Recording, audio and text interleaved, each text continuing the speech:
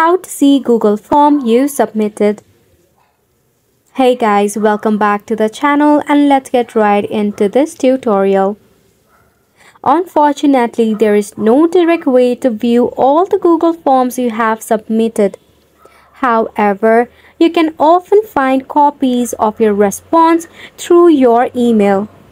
So you can head back from your Google form and check for your email through which you have submitted those Google Forms. Usually the creator itself has a copy of your response or the Google form that you have filled out emailed to you, to which you can even download for your reference as well.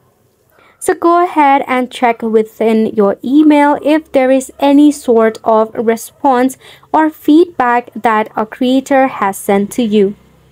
If there is no such link or a copy of your response, then you will have to reach out to the form creator. Those are the only possible way to get yourself the submitted Google Forms copy. Otherwise, there is no direct way in Google Forms yet to check out the history of your submitted forms. We can hope that in some duration we can get such feature as well. We hope that you found this video informative to you and thank you so much for tuning in. We'll see you very soon.